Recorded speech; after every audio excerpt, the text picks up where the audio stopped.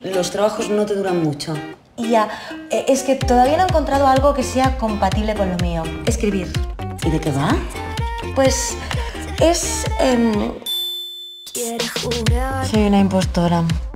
Todo el mundo cree que estoy acabando mi novela y no llevo ni 10 páginas. Chicas, necesito veros.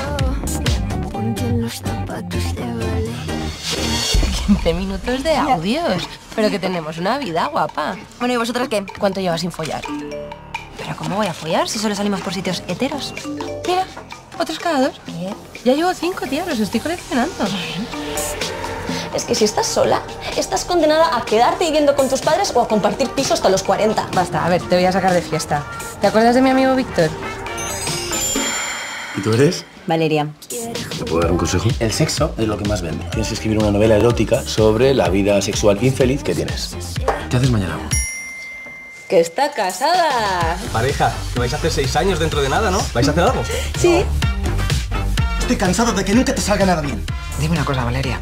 ¿Tú qué quieres hacer? Mejor arrepentirse que quedarse con las ganas.